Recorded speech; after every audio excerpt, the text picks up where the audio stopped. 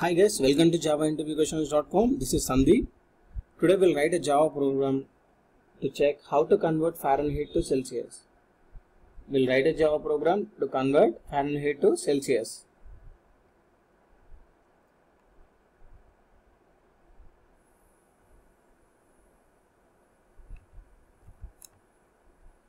First I am creating a class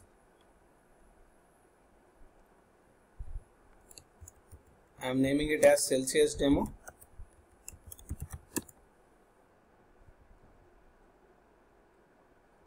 I am writing a main method inside this.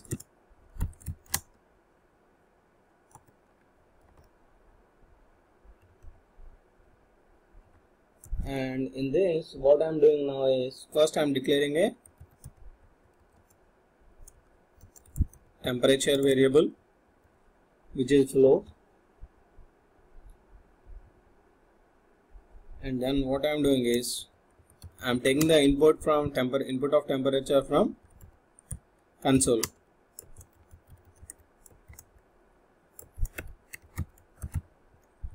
So to take the inputs from console what we need to do is we need to create a scanner object.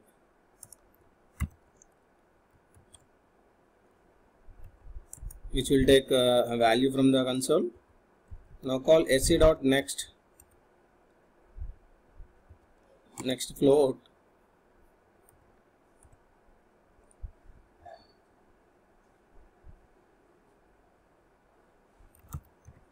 and assign this to temp variable. So to convert Fahrenheit to Celsius, the formula is temperature equal to temp minus 32 star 5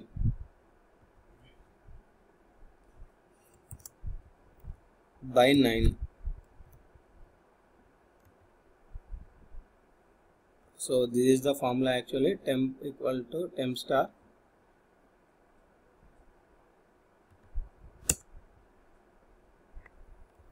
Temp star temp minus 32 star 5 by 9